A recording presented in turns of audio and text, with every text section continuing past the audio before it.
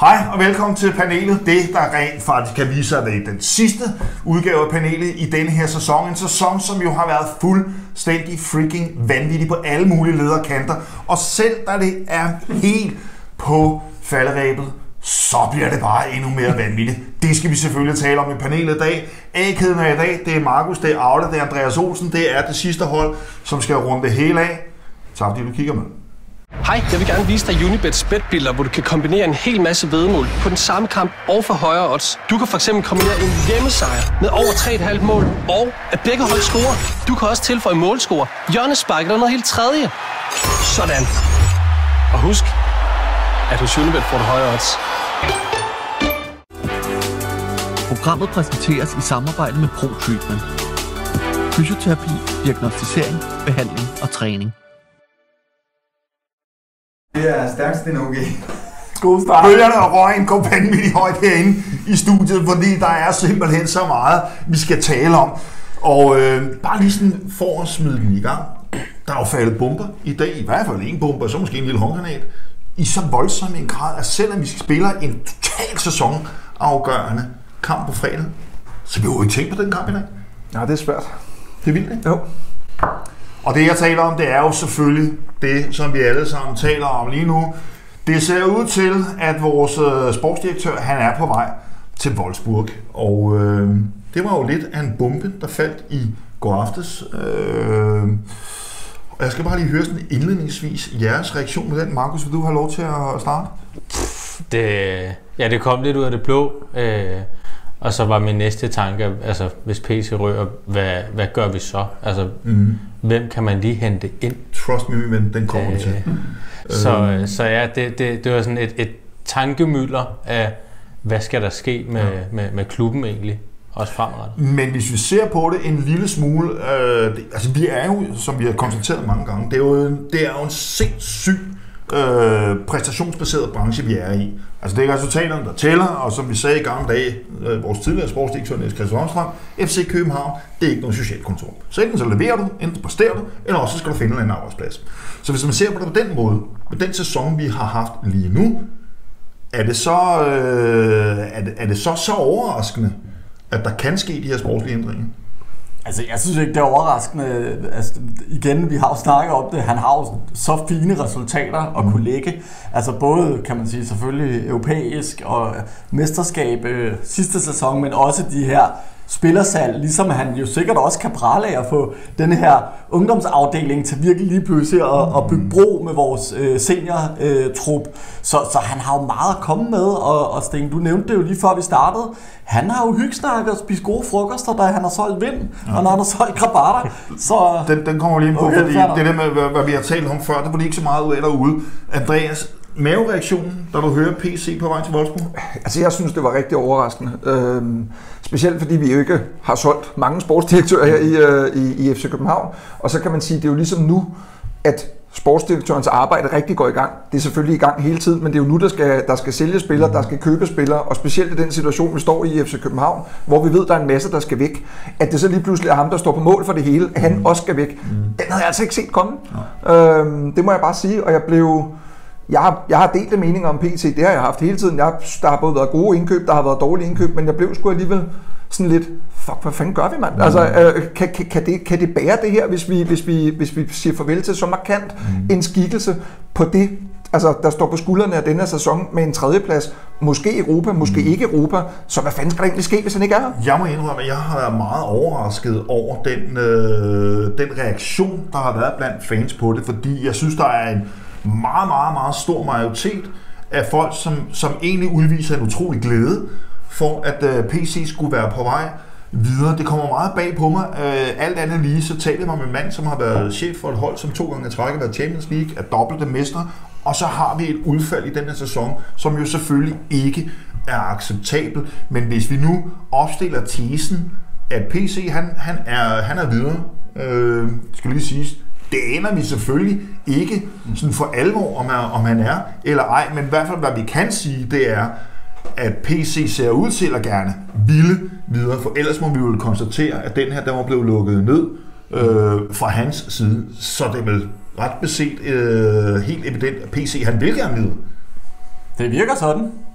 Ja, ja altså der, er jo, der var jo også nogle rygter i, øh, i, i vinter om, mm. om klubber fra, fra Saudi, så der altså klubberne ude i verden lægger jo også mærke til, at. FCK tjener mange penge, sælger store spillere, det går godt med akademiet, øh, og det er en klub, som i hvert fald det, det, det sidste år har markeret mm. sig internationalt med ham ved roret.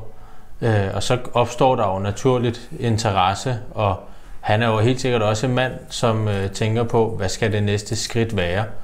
Og, øh, og der kunne Wolfsburg da helt sikkert godt være et godt skridt for Og det er lige, så, så, så må man sige, der er jo ikke noget, der rent faktisk tyder på, at PC han er en type, som, som løber efter hurtige og nemme penge, fordi så kunne han have pisset af til, til Saudi-Arabien. Øh, men altså, at han har haft det her forløb, præcis med Wolfsburg, som du er inde på, Aude, solgt Jonas Vind, så havde vi et rigtig, rigtig langt forløb omkring Kamil Grabara, som først bliver solgt, og så skal han afsted, skal han ikke afsted til, til vinter, og så videre, og så videre.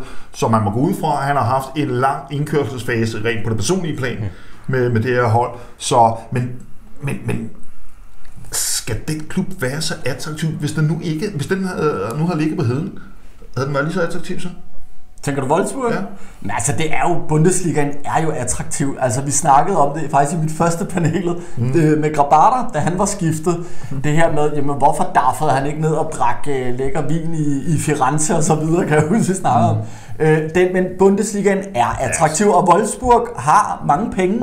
Og jeg tror faktisk også, for PC mm. øh, kan det være et ret godt move, fordi de er skuffet. Mm. Øh, det vil sige, han kan næsten kun øh, forbedre, øh, både selvfølgelig i for, forhold til truppen, men så skal vi altså også lige huske, der er altså andet arbejde for en sportsdirektør end transfers. Mm. Og du- nævnte før det der, for det har jeg nemlig også bemærket, at, at han deler jo virkelig vandene, og nogen er jo virkelig glade for at slippe af med ham. Men det er jo selvfølgelig det her kæmpe fokus på de her transfers, mm. altså øh, de der, Ja, ja, det, det sløje vindue. Ikke? Men lidt det samme som i, i Wolfsburg er den jo attraktiv. Han kommer ned, der er styr på det, mm. der er penge, det er Bundesligaen. Altså selvfølgelig er det det. Selvfølgelig er det Det er attraktivt. et totalt idiotspørgsmål, og det ved jeg godt, fordi selvfølgelig er det da hammerende attraktivt at komme til, til, til, til Bundesligaen. Og til syneladende er rent faktisk træde ind på en stilling, som er ligger over sportsdirektøren, men, men, men, men altså træde ind på et, et sportsligt strategisk plan, og det er vel også, mm. hvis man skal være helt færre over for PC, og det synes jeg ved Gud, man skal være. Øh, har der været flops? Ja, det har der. Der har været nogle store huller i osten. Det må man men sige. der har eddermame også været en kæmpe, kæmpe stor ost, fordi vi, har, vi taler altså om mesterskaber, vi taler om Champions League, og vi taler om definerede strategier, vi taler om et akademi i voldsom vækst. Det bør vel være det eftermæle, han, øh, han vil få. Skulle de nu gå hen og nå til enighed? Ja, det vil han. Øhm, det er ikke, fordi han, han på nogen måde har floppet, men, men hvis du spørger mig personligt, så synes jeg, at en sportsdirektør, der sidder i, i FC København med så mange penge, der har så mange muligheder for at hente spillere rundt omkring, så synes jeg klart, at der har været for mange fejlindkøb. Der, er så- han har selvfølgelig også ramt plet med, med nogle gode spillere, hvor man tænker, gud, kunne vi få ham? Altså, Elio Nusse, det er jo, det er jo, altså, det er jo et vanvittigt køb, at han sikrer ham. Øh, det kunne de altså ikke gøre i Brøndby eller i Herning eller noget. Det, det, det kan vi, fordi vi er FC København, og fordi PC har gjort det godt.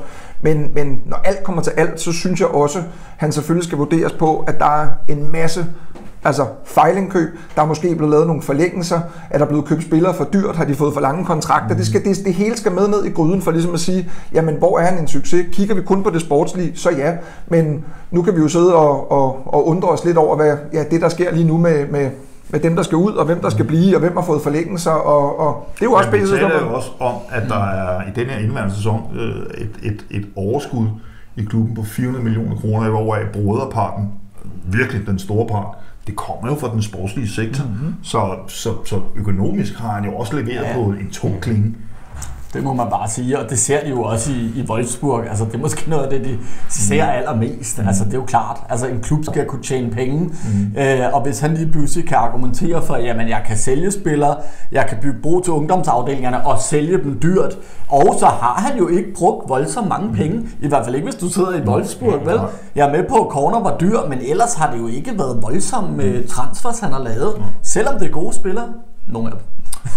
De fleste? Øh, Nej. okay. Det vil jo altid være være en, en, en, øh, og det er jo fedt nok, det kan vi jo sagtens sidde og, og stange lidt horn over, over. Men altså, jeg synes jo i hvert fald, det er bare min personlige holdning, det er ikke nødvendigvis det rigtige.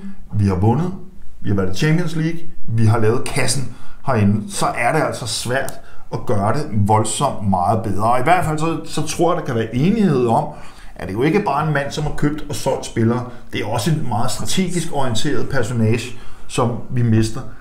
Altså, og, det, og det kan så bringe os lidt frem til det, som kommer, selvfølgelig under forudsætning af, at PC han ikke er, er her mere. Først og fremmest, det første jeg tænker, det er, okay, hvem helvede skal sælge ham? Ja. Altså, hvem, hvem sidder tilbage i vores organisation? Hvem fanden skal sælge PC? Hvem tror I, der gør det? Det må vel øh, være, være Møgelmose som, som formand for, øh, for bestyrelsen, øh, der, der, der har den kasket på. Og, Ja. så, og så kan jeg ikke lige tænke mig til, hvem der så ellers skulle være inde over men, den men er proces. vi ikke også enige om, at lige nu, altså vi taler februar 2023, der melder bestyrelsen ud, at der kommer altså en sportslig kompetent afløser for William Kvist. Det har de stadigvæk ikke formået at adressere. Jeg aner ikke, hvor meget de i virkeligheden er gået efter det, men hvis de virkelig er gået efter det, så må jeg bare sige, så synes jeg simpelthen bare ikke, de har leveret på nogen som helst øh, klinger, som retfærdiggør, at de er blevet siddende. Så for mig indikerer det, at det er altså et strategisk fravalg, at vi ikke skal have den her person i øh, ledelsen, og så kan de komme med alle mulige forklarmerøv-agtige forklaringer på, hvorfor der ikke er kommet en. Så svært er det altså ikke at finde en, som har sportslige kompetencer. Det kommer jo til at gennemspanke vores røv nu, fordi, hvad fanden sidder vi med? Nu sidder vi med en ny øh, valgt bestyrelsesformand, som er advokat, som har ingen reel erfaringer i spiller, køb og salg, og han kan være super dygtig og alle de der ting der, men erfaring, det tæller altså også her. Og det gør det. Altså jeg vil så sige, jeg tror, man er også nødt til lige at trække vejret. Altså der er jo penge i FCK, og det vil sige, der er noget, der hedder konsulenter derude. Det vil sige, de kan jo smide ret hæftige beløb fra ret hæftige konsulenter, og det må man jo formode, de gør. Altså jeg kan, som en kollega sagde, det tror jeg sgu ikke engang, de tænker på. Men øh, jeg tænker det, alligevel... var, det var rent faktisk med Mølmose, fordi Ja. der, er- der, der, vi har en interview med ham lige Ja. efter han er blevet mm. udnævnt til, til formand, der spørger vi ham rent faktisk, hvor han siger, Nå, men så kan vi gå ind og lukke de her huller med en konsulent. Ja, okay. Og der tænker jeg så bare umiddelbart, altså vi hører jo utrolig meget om, at det er vigtigt at have branchekendskab, det er vigtigt at have klubkendskab Mm. og kendskab til liga og så videre, og så videre. Altså det snæver det felt ind til stort set ingen. Øh, jeg har dog et øh, overordentligt godt bud på, hvem det kunne være, men altså lige nu er det da en katastrofe, Ja, ja, det er det da. at vi ikke har nogen, der er har enig. sportslige kompetencer. Det er det. Øhm, og det. Og det, som du selv siger, jeg forstår det simpelthen ikke. Mm. Altså, hvad, hvad, hvad er det, de er blevet erstattet med? Dem, som, som havde. Nu ryger der en med, med kæmpe sportslige kompetencer, og det er jo derfor, jeg siger, at jeg er mega bekymret, fordi hvor efterlader det os? Ja. Mm. Godt så, men vores bud, det er altså på, at vi har en bestyrelsesformand, som skal sidde og sælge det, fordi vi er enige om, at det her det må foregå på, øh, på bestyrelsesplan. Det er ikke et direktionsjob, det her. Det er bestyrelsen, der skal, der skal træde i karakter her. Ikke? Jo, det formoder jeg i hvert fald, at det er dem, der ligesom kører toget. Øh, Det kan godt være, at der er nogen, der skal øh, sætte et hak ved ting øh, og lige bliver spurgt. Men, men det er klart, altså processen, det må, det må være bestyrelsen. Og der vil jeg bare lige meget kort sige, altså der er det jo trods alt den nemmeste, øh, øh, det nemmeste punkt i processen. Fordi det er det, jeg mener, vi snakkede med det i starten. Man skal jo være helt hjernedød, hvis ikke man ved, at det er et hårdt tidspunkt for os. Øh, så det må være ekstremt mange penge, øh, eller man laver en eller anden... Ja, Den, den, den, den, kommer, den kommer vi til, men et eller andet sted hen, så kan, hvis vi kan, hvis vi skal koge alt det her ned og fjerne alle, øh, alle ting og sager og kigge på den helt reelle situation, det er, Erik Skærbæk bestemmer det her. Hvis han siger, du bliver her, så bliver han. Sådan er det jo. Ja, det tænker jeg. Ja, Det ja. må, det må det vel være. Han er vel på kontrakt. Ja, han har jo en Han kontrakt, har en kontrakt, som, og han er jo ansat, jo, så, så det må jo være sådan.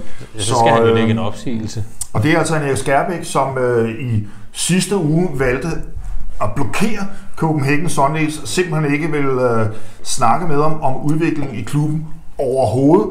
Og det kan man jo så godt undre sig over, hvorfor øh, at vores, øh, vores reelle ejer ikke vil det. Vi, øh, er det ikke lidt mærkeligt? Vatpik. Ja, ikke? Er det, jamen helt seriøst. Jo. Ja, ja. Hvad siger du? Jeg er enig. Godt. Jamen, Skærbæk, du er en vatpik. Så fik vi, så fik vi konstateret det. Det er, det er måske en lidt upræcis analyse af det, men vi kunne rigtig, rigtig godt tænke os at få nogle forklaringer og eventuelt en snak med manden. Men, hvad, altså, hvad kommer PC til at koste? Wolfsburg? Jeg tror ikke. Den tager jeg ikke. Fordi Det er jo- han skal jo købes fri. Ja. Altså jeg, igen som jeg siger, nu har vi jo ikke sådan super mange erfaringer med at sælge sportsdyrk, men jeg, jeg var oppe i noget, der hed, altså jeg, jeg, jeg tænkte på omkring en 35-40 millioner, det var mit bud. Øh, Jeg synes simpelthen, hvis vi er nede i sådan noget 10 eller 15, jeg synes det er for lavt ja. i forhold til så vigtig en position på så vigtigt et tidspunkt. Øhm, Og egentlig er vi pisse ligeglade, ikke? hvor meget vi får for. Jeg og et eller andet sted er vi jo, fordi Jeg er det, totalt ligeglad. ja, men, men jeg synes da stadigvæk, at prisen skal, det skal signalere et eller andet, at når det man køber i FC København, så får man det altså ikke for, for, for en slik.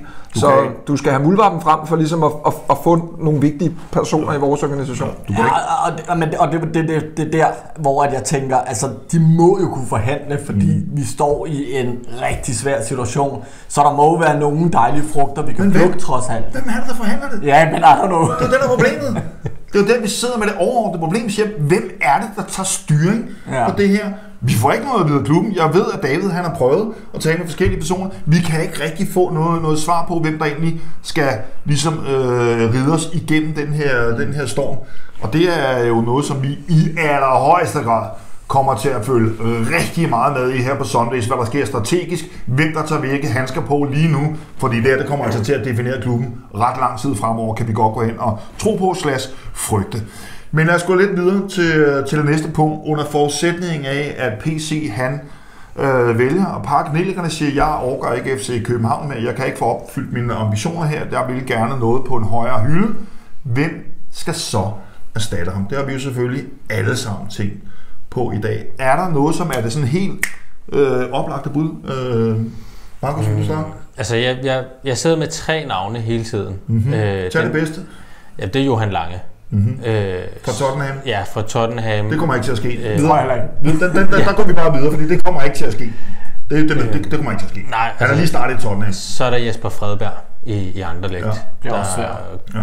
Kunne man måske lokke ham. Man kan i hvert fald sige, at Jesper Fredberg, da han kommer til, han har jo haft en ret voldsom øh, karriere. Han kommer jo til Viborg fra Panathinaikos, mm. så han har jo prøvet de store, tunge scener. Og så kommer han til Viborg, jeg mener det er 2019, mm. han er derovre. Øh, og så kommer han til øh, de første division, han får ansat en Jakob Næstrup blandt andet, og kører dem så igennem og har det der forløb, som gør, at Viborg de lige pludselig blomstrer fuldstændig voldsomt op, mm. kommer i Superligaen, og så bliver han genre til, øh, til Anderlecht, hvor han så får en kontrakt, som jeg mener er sådan cirka halvandet år. Mm. I hvert fald med udløb i 23-24 sæsonen. Det vil sige lige nu, der skulle hans kontrakt udløb. Men her i det dybe efterår, 23, der bliver han selvfølgelig tilbudt en kontraktforlængelse, fordi at ikke kun ham, men, men også Brian Riemer, som sidder på cheftrænerposten og så videre dernede, har jo formået at flytte Anderlecht for et kaosklub, som ligger på en 11. plads, mm. til en klub, der i år ligger som nummer to, og som reelt set, hvis de ikke har fået halveret pointene, øh, halvmejster, den skal ind i slutspillet, så er det rent faktisk fået flest point øh, i den belgiske liga. Øh, mm. Så Skarp. han, øh, han får altså forlænget sin kontrakt, og det de så gør der, som er lidt sjovt, nu øh, hvis jeg der, der bliver ikke sat øh, dato på, der bliver bare skrevet, den er lang. Så han har altså en lang kontrakt mm. dernede. Er det realistisk? Fordi det han var også min første tanke. Mm. Det var sådan, okay, kunne det være? Og så, det er derfor, jeg ved det. Det vidste jeg ikke på grad. Jeg vil læse alt muligt crap om ham. øh, er det realistisk, at vi på nogen som helst måde kan flå ham ud af Anderlecht? Øh, nej, det tror jeg ikke. Og det er også derfor, jeg ville kigge et andet sted hen, hvis, mm. hvis det var. Øhm, jeg ved overhovedet ikke, om det kan lade sig gøre, eller om det er stort nok. Vi tager, eller... vi tager lige det tredje bud. Du skal også nok få noget Okay. af Ja, okay. Øh, jamen, det er, jo, altså, det er jo Jan Laversen, men det tror jeg heller ikke selv på, fordi han, han, han stoppede Nordsjælland, fra han var træt af fodbold. Ham kommer vi tilbage til. Ham har jeg nemlig et helt andet, en helt anden rolle til. Andreas, vil du så have uh, dit bud? Nej, jeg siger bare, hvis man skulle kigge sådan lidt rundt, og måske også, hvad er egentlig realistisk for, for FC København, så synes jeg, at de oppe i Bodø Glimt i Norge har lavet noget rigtig, rigtig spændende. Ja. De er blevet sindssygt gode. De har en sportsdirektør deroppe, der hedder Håvard Zachariasen, en gammel Bodø-spiller også. Mm. Men han, er, han har jo fået dem til at være nærmest en middelmodig klub til at, at altså vinde mesterskaber. Ja. Så henter han Albert Grønbæk i, Klar i A- flot i Europa altså, også. Altså, Norge har overhalet Danmark i, ja. i koefficient, netop fordi at Bodø Glimt, mm de bare ligger nede i Conference League og hiver 20 point til Norge. De vinder deres gruppe hver gang. De går forbi, øh, øh, hvad hedder det, 16. del 8. og ender i kvartfinalen hver gang. Så taber de ud og vinder hjemme og, og henter point. Han henter altså Albert Grønbæk op i AGF for 20 millioner, og der sad man og tænkte, hvad fanden skal han bruge ham til? Nu er han bare topscorer i ligaen, og de er ved at sælge ham for, for 100 millioner. Ja. Han har scoret to gange mod, øh, mod Ajax Amsterdam, da de mødte dem. Han har lavet nogle, nogle salg til Klub Brygge. Øh, han lavede en af den her sidste sommer, også for sindssygt mange penge, hvor han sendte en spiller til Brygge. Så hentede han også en i Starbæk og sendte ham videre til Djurgården efter. Altså, det virker som en, der er god til at sælge de unge spillere. Det virker til, at han har fået en klub op, Det kunne være måske et farvand, FC København skulle fiske i. Om han så er stor nok til en klub som, som FC København, han har noget kendskab til det norske marked, kunne det være deroppe, vi måske skulle have nogle, nogle nye spillere. Et eller, altså han vil være mit bud mm. på en, som måske vil passe til FC København, som vil være realistisk. Øh, jeg vil selvfølgelig hellere have Fredberg, men, men, men jeg tror ikke, det er muligt, så derfor tænker jeg, at det her kunne godt være muligt, fordi det vil være et større job for ham at komme til FC København, end det er at være i, i Bodø. Jeg er lige nødt til, hvad hedder Zachariah? Øh, Hovart han. Hobart, Hobart Zachariasen. Godt så. Aude? Ja, men altså, øh, jeg vil gerne kreditere, kreditere vores egen gode David. Jeg synes, øh, David havde et meget sjovt bud øh, i Niklas Jensen. Ja. Øhm, og jeg ved ikke, det er ikke fordi, han opfylder alle parametre. Øh, i, for, der er blandt andet noget med sportsdirektørs erfaring. Mm-hmm. Øh, den del har han jo ikke rigtigt. Øh, det, jeg er også lidt bekymret for, altså er han rå nok til sådan en rolle? Men altså, man må vel gå ud fra, at den mand, øh, både igennem, han, igennem hans agentvirke, men selvfølgelig også hans lange karriere i mange klubber i mange lande, har et ret vildt netværk. Ja. Så hvis vi ligesom fokuserer på transfers, som jo tit er der, vi ender som fans, hvilket er lidt farligt. Men, men Den hvis vi- skal jeg nok lige komme Ja, det godt, hen, det fordi- godt, fordi den er nemlig meget interessant. Men hvis vi fokuserer på det, der må han simpelthen have et netværk. Mm. Ikke alene spillere, men selvfølgelig også agenter, ja. men også en know-how til, hvordan bygger du måske en scouting-afdeling, der er lidt mere moderne end vores. Ja, fordi altså, nu bliver jeg lidt mærke de ting, I, I siger, og I er meget, meget fokuseret på transfers, ind og ud, økonomi osv. osv. Jeg vil gerne flippe den mønt og sige, for mig at se, jamen der er det, øh, det kommer efter de strategiske virkemidler, som du som den øverste sportslige ledelse skal have inkorporeret i din, den organisation, du træder ind i. Hvordan helvede ønsker jeg, at den her klub skal optræde sportsligt. Og det kan rent faktisk være en af de helt store ankepunkter, som der kommer til at, at, at blive eftermælet også, det er, der er ikke særlig mange, der synes, at vi har været særlig skarpt defineret sportsligt inden for de sidste par år.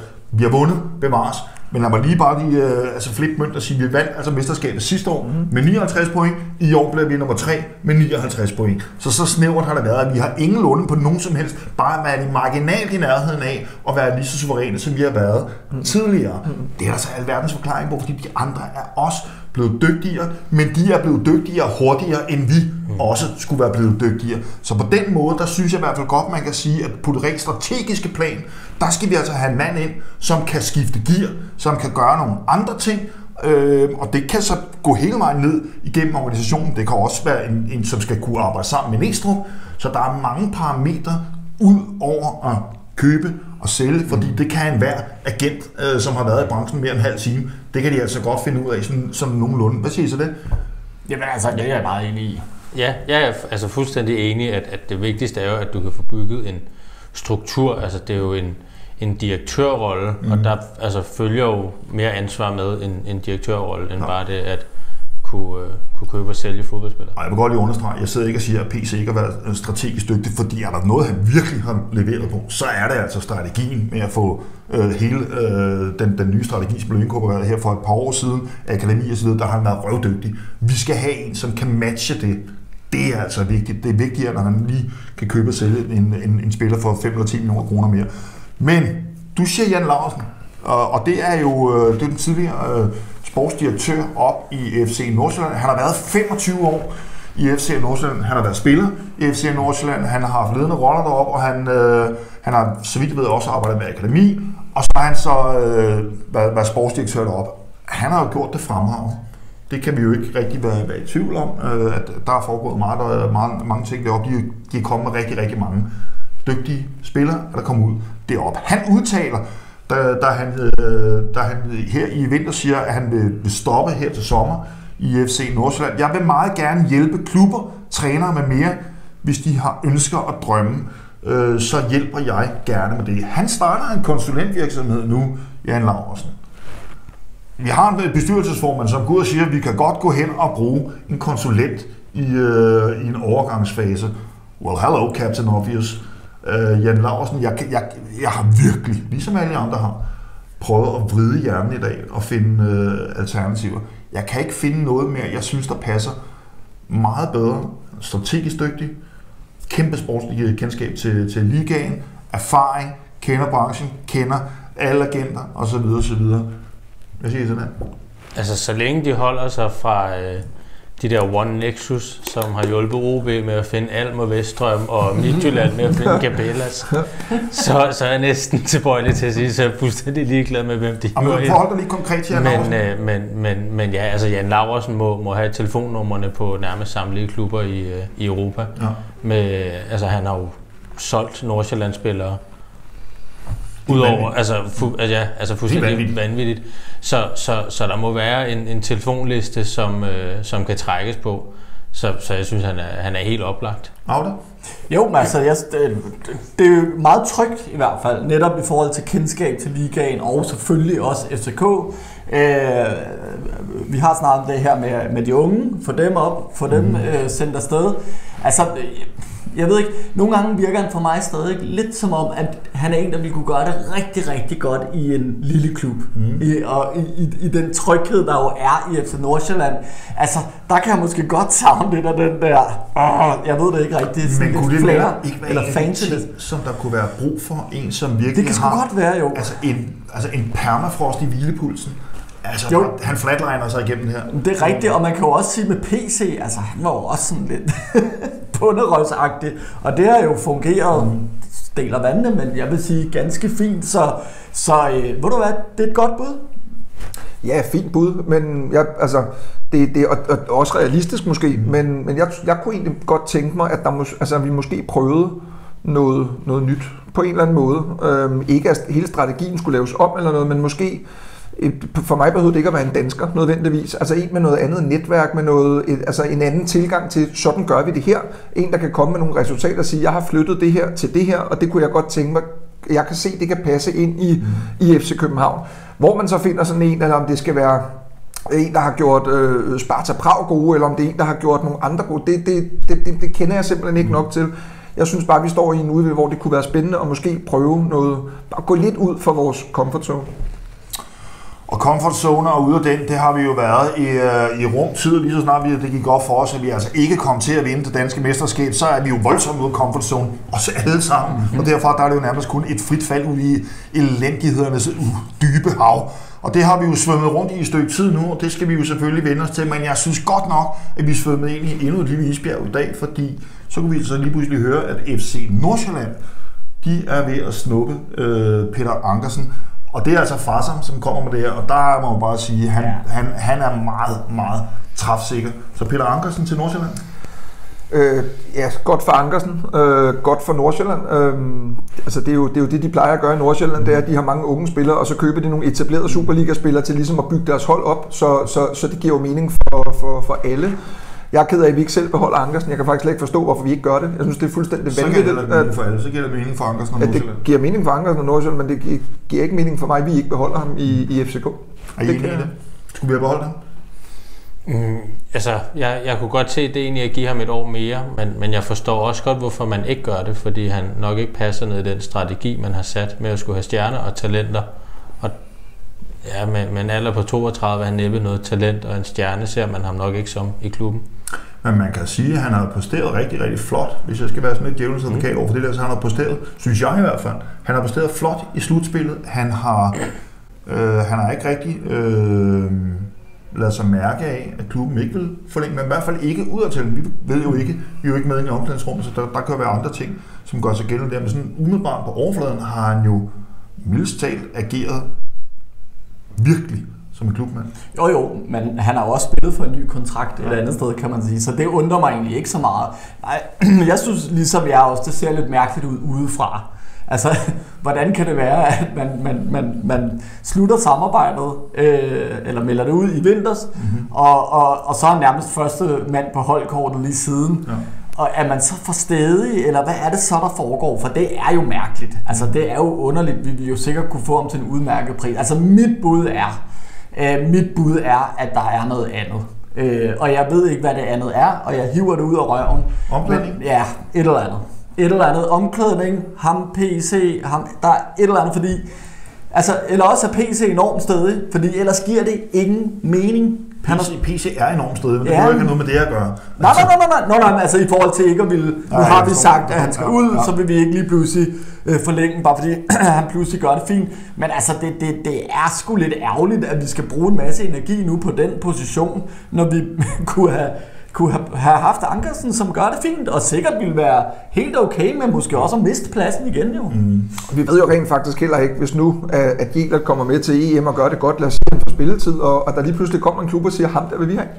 Hvad, hvad er planen så? Så har vi ingen Ankersen, så har vi ingen Jelert. Det må vi spørge PC om. Ja, det må vi jo gøre, men øh, du skal lige ringe til ham nu, inden han, øh, han forsvinder. Nej, øh, men, men jeg synes et eller andet sted, at selvfølgelig skal de ikke gå ud og fortælle alt, men jeg synes, man, man, de skylder det der fortælle, jamen hvis ikke man forlænger med Ankersen, hvad er planen så? Mm-hmm. Hvad, hvad skal der så ske på den højre? sige, det aldersmæssige perspektiv, den kan vi jo skyde fuldstændig ned, fordi lige øh, for, for en uges tid siden, der forlænger vi tre år med Rasmus Falk, som også er 32, ligesom Peter Andersen, mm. der er 32. Så, så det aldersmæssige perspektiv, den tror jeg ikke spiller den, den afgørende rolle i det i hvert fald.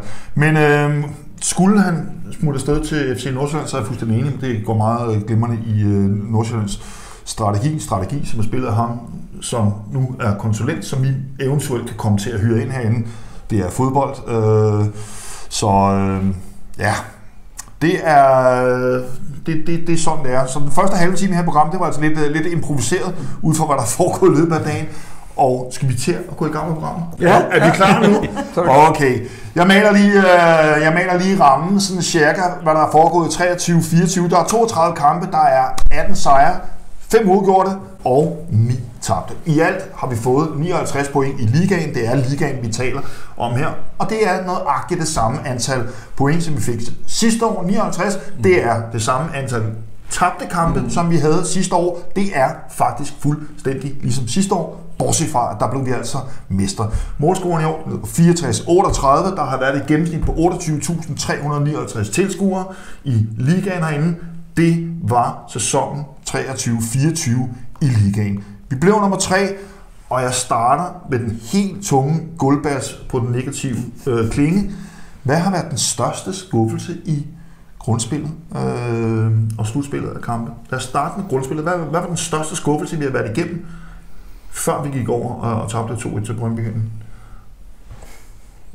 Hvis vi tager sådan enkelstående kampe, mm. så, øh, så, så har det nok været afslutningen på efteråret. Mm. Altså hvor vi virker til at, at falde fuldstændig øh, fra resultatmæssigt øh, og, og, og bliver hægtet en lille smule af, så der er et rigtig stort efterslæb. Har du stået, har, har du stået med en på et eller andet tidspunkt og tænkt, satans, Ja, det har nok efter AGF-kampen. 2-1 herinde? Ja, ja. Øh, hvor vi, altså jeg brænder, eller vi brænder, jeg, jeg ved ikke, hvor mange ja, er chancer. Øh, og de scorer på de der to hjørnespark, og, og så, så taber vi 2-1, og, og, man, og man sidder bagefter og tænker, altså, hvordan tabte vi lige den kamp? Og det, og, det er, og det er jo også ja. en af de kampe, som, øh, som præ, præcis den kamp, som Jakob Næstrup, han har, han har trukket frem op til flere gange og sagde, det der det er en katastrofe, vi taber den kamp. Altså, vi har, vi har så mange chancer, vi har så mange afslutninger, vi har så mange muligheder for at få de tre point, og alligevel så står vi tilbage med 0. Det havde jo gjort en alt afgørende forskel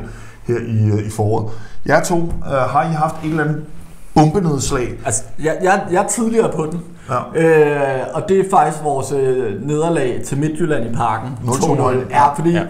Ja. at vi, har faktisk, vi startede faktisk ret godt. Mm-hmm. Øhm, På det tidspunkt, der er vi 8 point foran Midtjylland. ja, vi er nemlig, ja. og vi kan sætte dem helt af, og vi startede ret godt, som jeg synes, som jeg husker, der er en lille smule atypisk. Nogle gange, ligesom dengang vi starter med at tage mod Horsens og sådan noget, vi skal ligesom lige i gang og sådan noget. Vi startede rigtig fint, vi skal så møde Midtjylland i parken, jeg mener det er en fredagskamp, eller En lørdagskamp. en lørdagskamp, ja. Så man har fået et par der og er glad, og det skal sgu nok gå.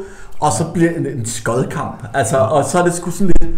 For fanden, altså, det der herning-kompleks, vi bare har, øh, skyder mig sgu lidt tilbage og gør mig allerede der en lille smule bekymret. Vi burde have henrettet dem på hjemmebane. Ja, vi burde sgu. 11 point bagud, det henter de ud. Mm. Og det, det, det var Midtjylland også øh, helt klar over at sige, kom vi 11 point bagud, så, så, så skal vi i hvert fald ikke tale mesterskaber mere. Ja. Så der får vi spillet dem ind her igen, hvor de kun er 5 point bagud. Jeg synes også, det var det var en fuldstændig katastrofal oplevelse. Det er satme heller ikke særlig op, øh, opmuntrende, da vi taber 3 til Silkeborg herinde, efter Rooney han har sparket foran efter en 3-4 minutter. Øh, vi kører dem ud af brættet, og så lige pludselig så får vi bare med den helt unge jyske kontrakæp. Er, der, det, var, det var en ung kontra. Und, siger jeg, ikke ung, men ond kontrakæp.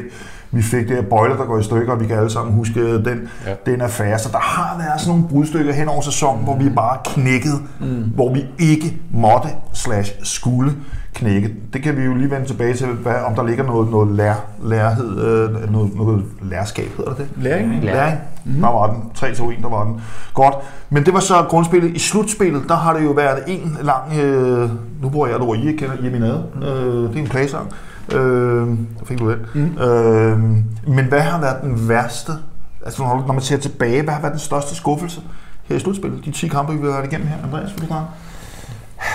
Altså jeg vil sige, den kamp, vi tager til Midtjylland inde i parken, det er, når man har med mennesker at gøre, det er altså bare, hvad der sker en gang imellem. Men jeg synes, det er rigtig, rigtig, rigtig ærgerligt, at man ikke går til, altså tager til Aarhus og rejser sig mm-hmm. og smadrer et AGF-hold, der ikke har noget at spille for. Det synes jeg er en decideret katastrofe. Mm. Det kan ske, du taber til, til Midtjylland. Det bør ikke ske, som du selv siger. Vi har et FCM-kompleks, det må vi bare erkende, mm. og, og det er pisse irriterende, at vi ikke kan slå dem. Men jeg synes godt nok, at vi skulle have givet os selv den mulighed for, mm. at i sidste spillerunde, at der trods alt var noget på spil, mm. og så går vi over og leverer. Ja, altså, AGF laver tre, tre mål på os. Prøv, det er en mand, der ikke har scoret sæsonen for dem. Så laver han et hat på mod FCK i første halvleg. Og vi det, kommer foran igen. Det er, jamen, altså, vi er foran igen. det, det er 8. gang i den her sæson, vi er foran og taber. Selvfølgelig irriterer mig det også, at Brøndby vandt i overtid, men igen, det, det, det, jeg synes, vi er bedst mod Brøndby, jeg synes, vi er klart bedst mod Midtjylland, men, men jeg synes heller ikke, at i denne her sæson, jeg skal ikke sidde og tude ørerne fulde med, at vi har været uheldige og sådan noget, men mønten er ikke tippet vores vej, altså den er ikke flippet vores vej i, i mange kampe, men jeg synes, den der oppe i Aarhus der, hold kæft, var det pinligt, mand, når vi tæver til midt, at vi ikke går op og leverer bedre end det der. Vi er enige om, og jeg tror selvfølgelig, vi kommer til at sige, det er over de seneste to sæsoner, vi har tabt otte kampe for, når vi har været bagud. Pyt nu med det. Øh, men, men, men de her tæv, vi har fået i den her, og det har vi jo fået set i lyset af vores egen opfattelse af, hvad vi skal være som klub, hvad vi skal præstere som klub. Vi kan godt acceptere at tabe kampe, fordi det gør alle hold, men ni kampe i løbet af en sæson, det er for meget. Det er det bare. Du bliver i hvert fald ikke mester på det, øh, medmindre alle andre også har en lortet sæson, ligesom sidste år. Men, men ligger der noget, noget læring i det? Altså, skal vi læ- hvad, hvad kan vi lære af klub som det her? Skal vi være mentalt skarpere fra start?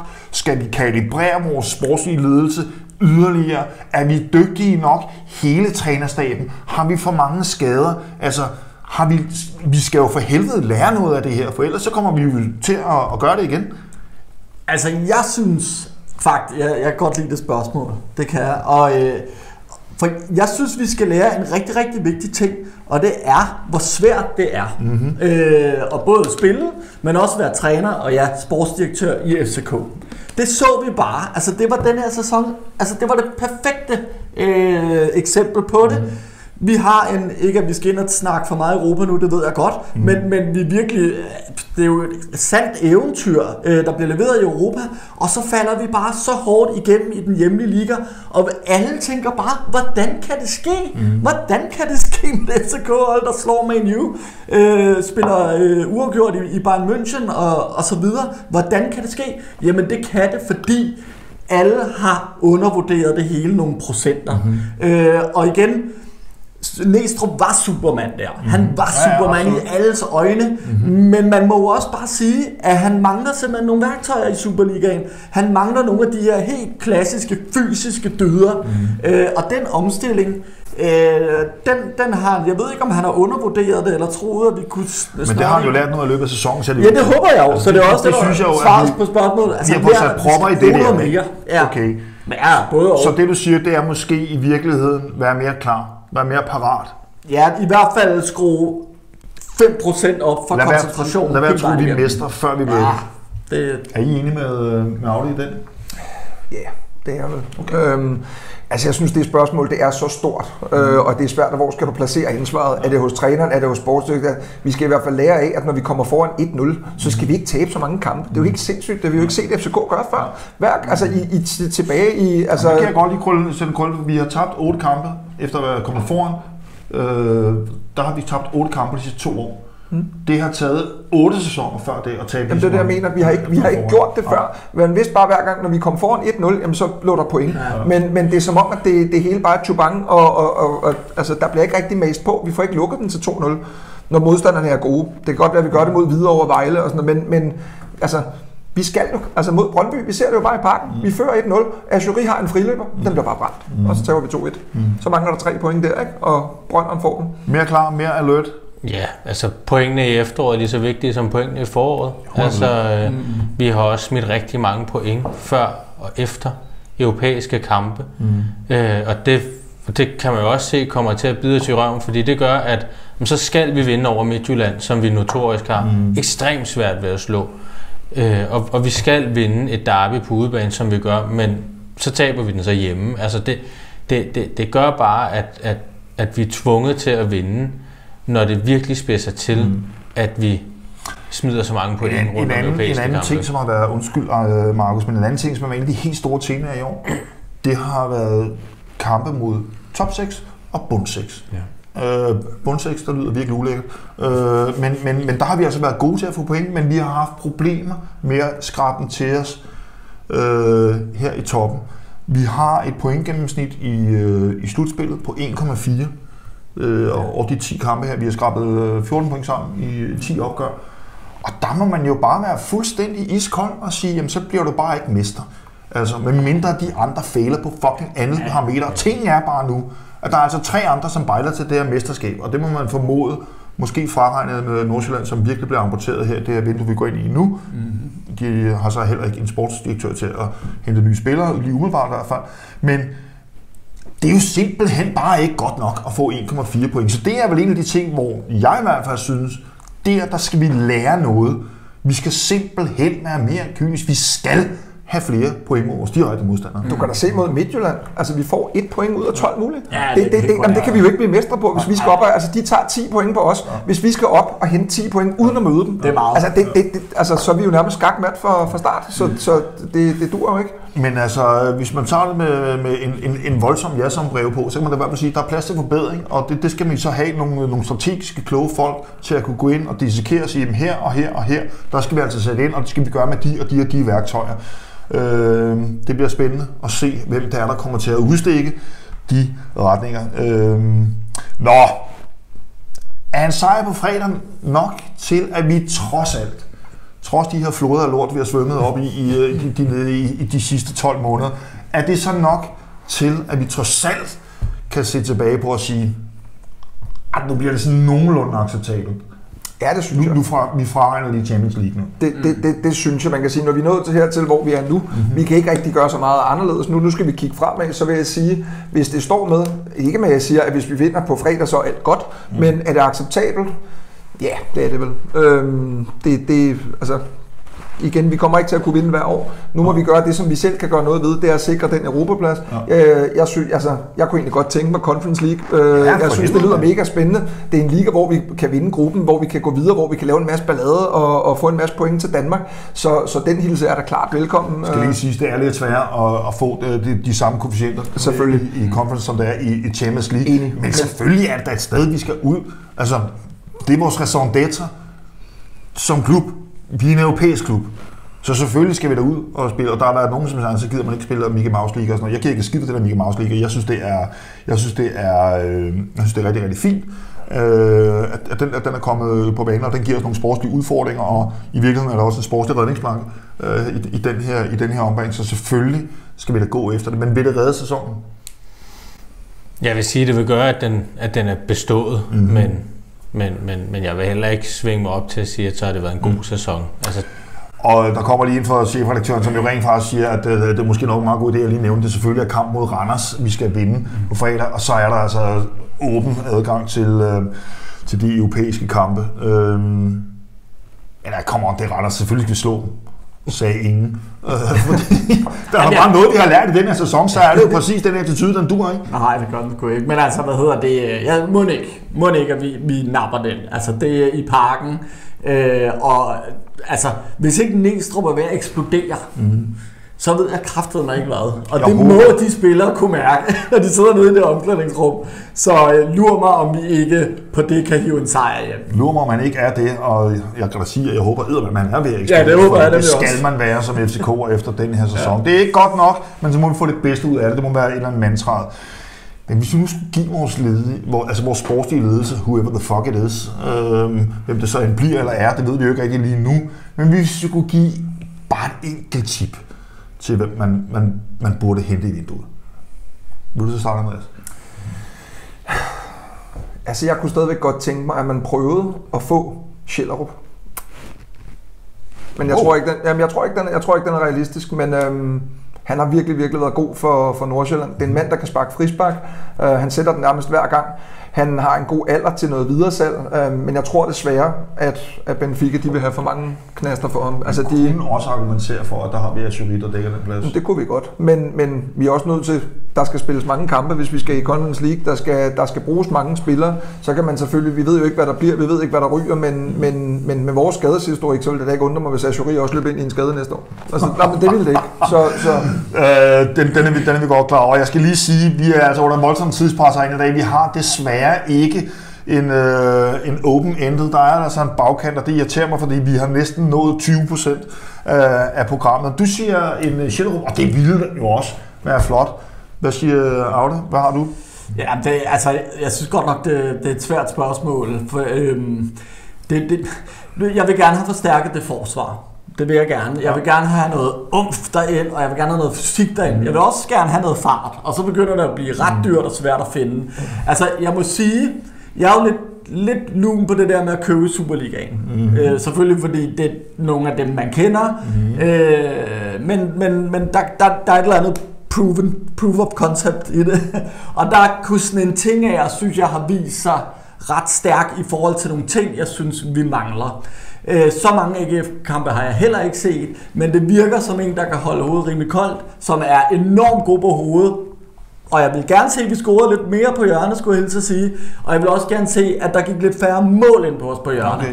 Problematikken er selvfølgelig hans fart. Øh, og der kan jeg ikke helt finde ud af, om, om han helt... Øh, Jeg tror, at overordnet del af problematikken, det er, at han er lort. er der, det er, han er lort. Han er ikke Han er. Han, han, han er ikke nærheden af at være FCK. Synes du, Markus?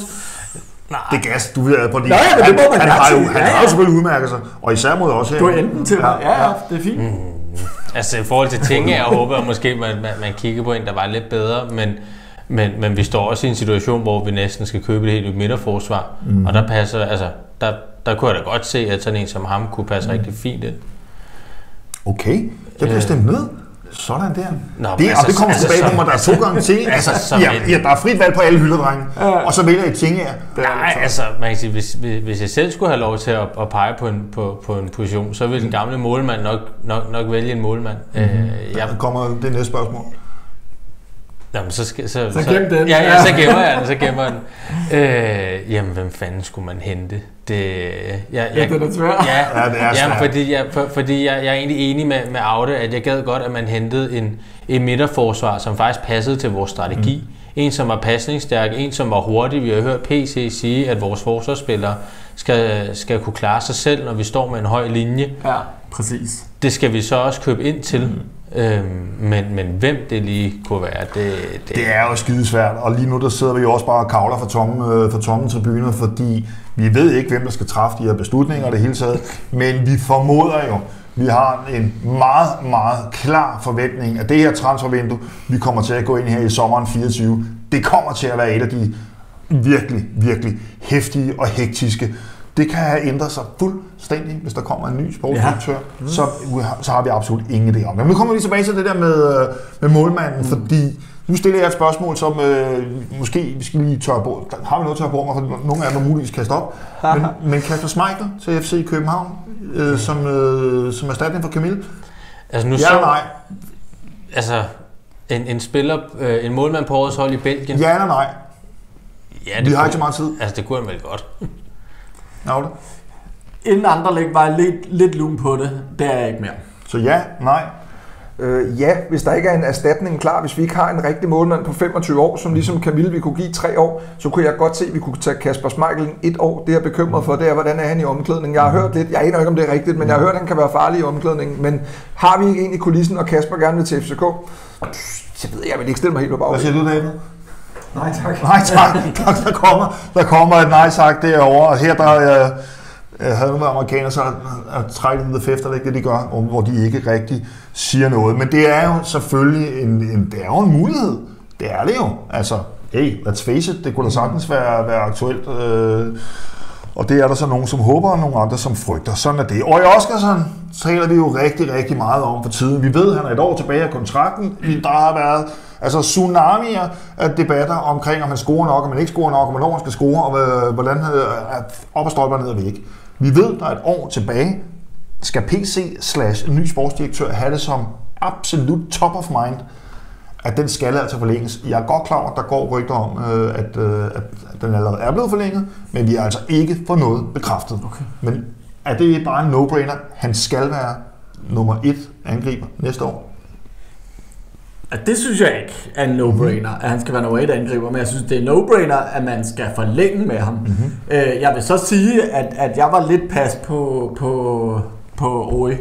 Øh, og der må jeg sige, at der må jeg bøje mig i stødet. Jeg synes, han har vist nogle rigtig fine takter. Mm. Altså og specielt øh, øh, ude på banen. Altså noget fysik, og han netop kommer frem til de der chancer, som vi har snakket om 100 gange. Han skal meget gerne til at score på dem. Men det tror jeg faktisk også kan ske.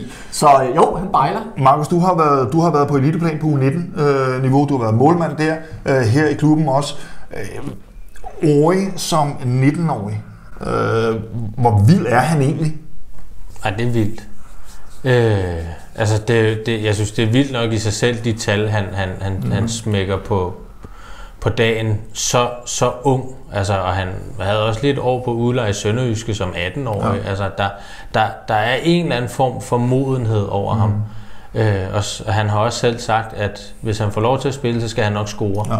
Og, det er, og, og det er bare forbandelsen ved den position, der mm. at man på et eller andet punkt har du ikke tid til at skulle vente på, at målene mm. kommer. På den anden side kom, kommer ja. målene ikke, ja. hvis ikke du venter. Ja, altså, du er nødt til at give ham altså kampene. En, en virkelig øh, god parallel til vores klubhistorie. Øh, da Ramandøj, han kommer til klubben, mm-hmm. altså der spiller han jo som en forstuet spåndplade. Altså han kan jo ikke gå på den og score med en million kontanter i lommen. Det kan bare ikke lade sig gøre. Mm. Han er ikke i nærheden. Og lige pludselig, fordi at han får tiden. Fordi hvis du ser på, hvad der foregik med ham, og hvad der foregår med Ori, en ting, som virkelig taler OSA, set fra min synspunkt, det er, han kommer altså til chancerne. Mm. Han er der. Han er der, hvor chancerne opstår. Så brænder han måske lidt for mange i nogle situationer nu. Ja, han er 19 år, men overordnet set, så kan jeg bare også lige sige, at øh, der er altså også kæmpe store udenlandske klubber, som holder øje med ham. Det er der altså. Altså, giv, altså, giv den unge mand noget, noget, noget tillid. Ja. Altså, spil ham 5, 6, 7 kampe i streg, så, ja. så, så, så tror jeg nok, det skal komme. Men men, men der skal samtidig også være en, som ligesom kan tage, pr- tage presset af. Ja, altså, ja. og, og det har du bare ikke i Cornelius, fordi, fordi han er skadet hele tiden. Ja. Så der mangler lidt den der angriber, som mm. du kan sætte ind, og hvis, hvis Ori lige har ramt en om vi ikke i løbet af, af transfervindue-programmerne, vi kommer til at sende, kommer til at vente en 600 gange ved, øh, ved David Møller, som sidder allerede nu og nikker derover. Hvad siger du, Ori? Jamen, jeg, jamen, jeg vil klart gerne se Ori i FCK næste sæson. Man kan jo heller ikke bare jeg sælge hele lortet og købe 11 nye. Altså, der skal ja. jo også være noget, der ligesom går igen, så, så der er en, en grundstamme. Men jeg havde måske mere set, at vi hentede en, en god angriber, mm. altså en tung angriber, Øhm, og så fik Ori måske 40% af kampene. Så var Ori den, der spillede, når vi kom hjem fra Europa, så skulle vi møde Vejle på hjemmebane. Så var det altså ham, der startede inden, og forhåbentlig kunne få, få, få gang i målene. Men når vi skulle ud og spille i, i det store Europa, mm. jamen, så er det altså en, en, en, en lidt mere markant skikkelse, der, der står deroppe. Eller når vi skulle møde Brøndby eller Midtjylland i, i parken. Jeg ved ikke, om Ori han er helt klar til det endnu. Altså det, ja, han kommer til chancerne, og, men, men, men som du selv siger, der er jo også noget betaling på en eller anden måde, når man ikke scorer på dem. Altså, det, man, sådan, altså, er det. sådan er det jo. Det er jo en del af gamet. Havde, havde Ori sparket den ind mod Midtjylland efter 40 sekunder i parken, så var det blevet en anden kamp. Så var det Midtjylland, der skulle frem. Ikke? Så var det os, der fik... Så, altså, så havde vi måske været mestre. Så havde vi måske været mestre. Der bliver brændt friløber mod AGF, der bliver ja. brændt friløber mod Brøndby. Selvfølgelig. løber, min ven. Ja. Vi er nødt til at komme tilbage, og David Bastian Møller, han sidder og skriger på min... Der er 10 minutter tilbage, og han får ja. den der, vi tager så lang tid, vi vil. ja. Godt så, men vi har jo allerede lavet en fantastisk signing i år. Øh, inden transfervinduet, det er åbnet, det er I klar over, ikke? Spændende. Harris Place. Oh, okay. det er jo voldsomt. Og Warpix. Det er jo, det er jo, det er jo vanvittige transfer. Og det er jo selvfølgelig meget, du kan læse om ind på fck.dk, hvor, øh, hvor en virkelig fantastisk fantastisk pølse. Øh, en, en, en Vi skal have en burger. Vi skal have en burger. Det skal vi have. Det er altså Harris Place, som er på ned og se til næste sæson. Det her program, det kommer virkelig til at, at fremstå lidt øh, ustruktureret. Det er det ikke, men vi er nu kommet til det første deltagerspørgsmål, og øh, vi når sikkert kun ét. Ja. Så er der en, der som har noget, som I siger, det har vi slet ikke snakket om. Der er meget, vi ikke har snakket om, men... Øh, ja, det er der. Altså, mit kan godt Ja, vente. skyd. Nå, det kan godt vente. Ja, det kan okay. godt. Kan vi vente? Ja, ja, ja, det kan det. Kan vi? altså et spørgsmål til, til panelet? Eller hvad siger du? Jeg havde et, jeg gerne ville Om så stille. stil det. Jeg synes bare, at øh, nu ser man, at, øh, at- at Brøndby taber mesterskabet. Uwe Røsler er ude og juble. Mm-hmm. Øhm, jeg synes, jeg kan ellers godt lide Kenneth Emil Petersen. Øh, jeg synes, han er god. Men han har været ude at sige, at han synes, det var helt forkert, og det var helt øh, forkasteligt, at, at, at Uwe går ud og, og jubler. Selv, selv AGF's sportschef er ude at sige, at det var forkert af, af Uwe. Øh, Carsten V var meget sur, og, og alle Brøndby. Altså, nu tænker jeg bare, det kan jo også, nu ser vi det også herinde med Kevin Dix gå ud og jubler foran sydsiden. Er det ikke en del af at være fodboldspiller, at man har lov at juble, eller man er i sportsverdenen? Eller hvad synes I, at det er en provokation? Altså, jeg bliver slet ikke provokeret af det overhovedet. Jeg, jeg, det, det, er jo, hvad, altså, det er jo sådan gamet er, tænker jeg. Det er ikke forbudt at juble. Jamen, altså, jeg kan kun sige, at jeg er enig, de tuder løs derude, men det er der selvfølgelig også en, en god grund til. For kæft, en boksehandske, de fik i hovedet. Ja! Det var så fryd. Øh, så jo, selvfølgelig tuder det, men jeg er da helt enig for fanden. Og vi så selv uh, Kleiber mod os, ikke? Der løb Ja, ned til ja, sektion præcis. 12 og lige... Uh, han, altså, så, så, Jeg synes, jeg, synes- jeg forstår udmærket PC, eller undskyld, CV's reaktion. De store spillere, så står de og jubler lige foran. Der var jeg også blevet tosset. Til gengæld, så skal Kenny Emil Petersen, han skal bare tage en gigantisk kop, kop hold din kæft kaffe. Fordi det, der rent faktisk foregår, det er Uwe Røsler. Han jubler lige op til noget familie, som sidder deroppe. jeg synes i hvert fald, hvis, jeg synes i hvert fald, jeg synes i hvert fald, hvis Uwe var løbet ned til sydsiden og, og Ja, det gør altså, han. havde smidt Han går han, så jubler han lige op til sin familie, så står han der som selv var den største tudeprins mm. på, en, på en fodboldbane, skal stå der og spille moralens vogter. Hold det også Ja, kæft. der går også noget snak om, at der er blevet råbt altså, homofobiske tilråb til ham, netop fra det afsnit, Ja. ja. som han knytter næven op mod. Det var Men- hans familie. Altså, jo, og så med, med en puls, der kører på 200 i timen. Det kan jo selvfølgelig være altså, Altså- hans familie, der sidder og råbt. Ja, ja. Det vil være overraskende. altså, jeg, jeg, jeg, jeg kan da godt forstå, at de bliver sure i Brøndby, men det der mere konteksten i, at du har lige smidt ja. mesterskabet fuldstændig på gulvet. forstår vi alle sammen. Men, men, men, mm, Men skal, skal en speaker stå, bare, skal en altså, speaker stå nej, og kulde de skal bare lade det være. Altså, det, det, det er Jeg synes, han var dybt pinlig. Jeg kan egentlig også godt lide ham. Ja. Jeg synes, han er meget fed, men der var han sgu for pinlig, altså. Må du kraft den tørre øjne. altså. Godt så. Så øh, nåede vi der i hvert fald et deltagerspørgsmål i dag, så nu tager vi lige en lille breaker. Og det er desværre meget kort tid, vi har tilbage, så lad os prøve at, at optimere den lidt. Skal nummer 7 egentlig kom- kunne komme ud og spille Europa? Nu sidder vi selvfølgelig, og vi er en lille smule... Øh, vi er jo selv fanget i Superdagen, øh, og kan rent faktisk misse Europa. Så hvis vi ser sådan lidt ud over vores egen situation, er der ikke et fuldstændig vanvittigt problem i, at du kan blive, være det syvende bedste hold i Danmark, komme ud og spille Europa, men nummer 3 gør det ikke. Jeg er sådan lidt, altså mest nej, fordi selvfølgelig skal vi jo belønne vores, vores gode hold. Randers kunne jo bare have været bedre i de første 22 ja. kampe. Men man kan så også sige, jamen, vil jeg gerne ind og se fodbold på fredag? Det vil jeg da gerne. Jeg vil da gerne ind og se FCK. Der er noget på spil. Tror du, parken, der kan- komme 30.000? Kan der blive solgt mange bajer? Skulle der sælges mange bøger? Jeg siger bare, det er jo også en indtægt for, for, for. Altså, vi skal Ej, slå tror, Randers ud af... Nu er spørgsmålet, at hvis de ikke vinder, øh, så, så misser vi, så kan det godt være, at vi, vi, vi skubber nogle skaller på at spille den kamp, men så mister vi altså også alt, hvad der hedder i Europa. Det gør vi. Så, så nej, vi, altså nummer syv skal ikke kunne komme ud. Så må man belønne dem på en anden måde. Nej. Øh, nej. Hvad mindre de vinder pokalen? Jamen, Jeg har, jeg har det, altså nu har vi valgt det øh, slutspil. Øh, de top 6 kæmper om mesterskabet, øh, og øh, bund, bund 7, eller fra, fra 7. pladsen ned, øh, kæmper selvfølgelig om nedrykning, men hold kæft, hvor bliver det kedeligt, hvis der ikke er noget for dem at spille om. Fordi der ofte er nogle bryggelknapper, og, og det, det, det synes jeg bare. Jeg har ikke så meget imod det som andre. Vi finder, bare, vi det. finder bare ikke nogen andre ligaer, hvor du lige pludselig finder på, nu skal du altså gå ind og, øh, og, og, og premiere men, midterholdene. Men, men så må vi skulle lave det om og Jamen, lave det så- mere kunne man- altså- altså, så må vi Så, skulle lave det så, så, så, så nummer. 7, så får de en million. Så kan de kraftigt spille en million, de tolker. Eller det er give en røvsygt, hjemmebanefordel i de to første pokalrunder, et eller andet. et, et eller andet. Altså, det er jo fuldstændig bizart, og vi sidder jo her, og alle flæber over vores øh, koefficienter. Uh, nu, hvis øh, Olympiakos de vinder, øh, Ja, ja, så, selvfølgelig så mister vi rigtigt 15. pladsen, og samtidig så sender vi nummer 7 ud i Europa. Det giver sgu da ingen mening. Det er en meget god pointe. FCK eller Randers i Europa, ah, tomato, tomato, det er ikke et svært valg.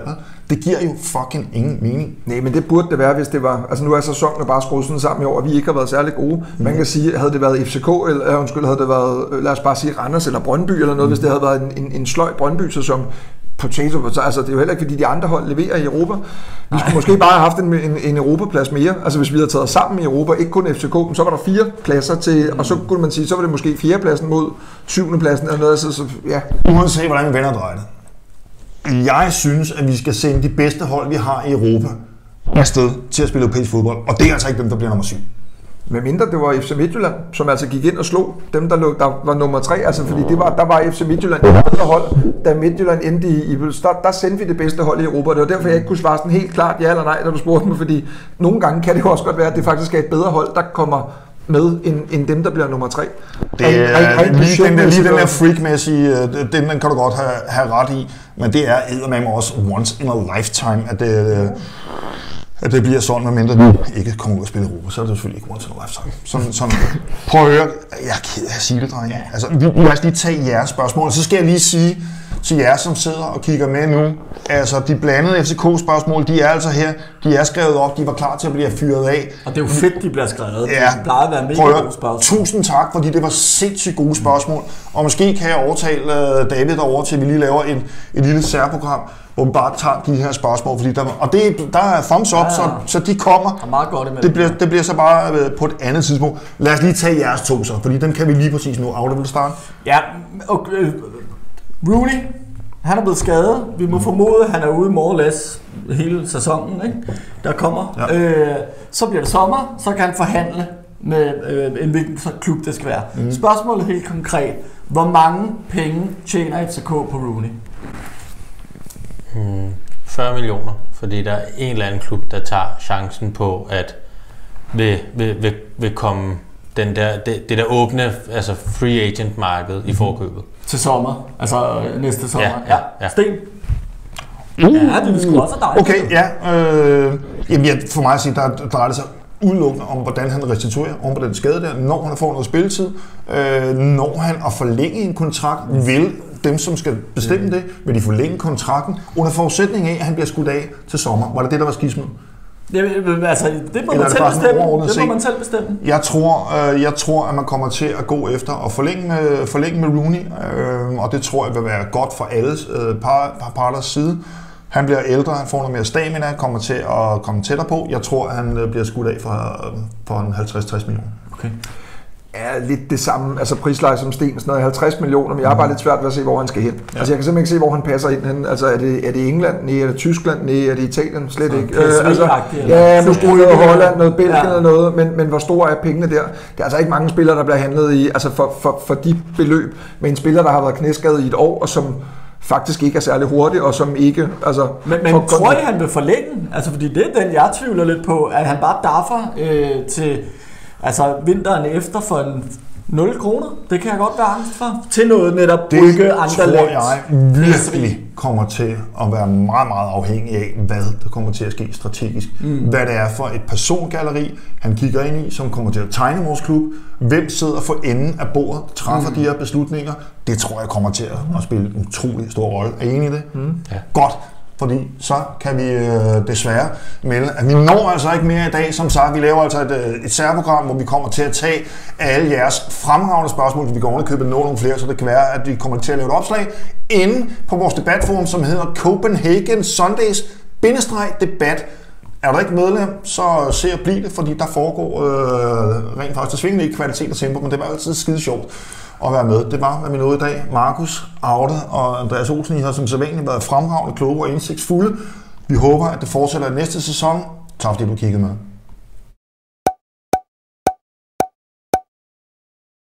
Hej. Ved du, hvem der havde de højeste odds på FCK i sidste måned? Det var igen Unibet.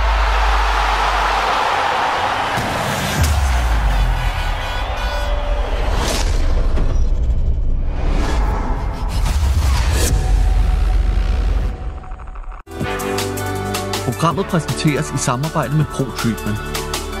Fysioterapi, diagnostisering, behandling og træning.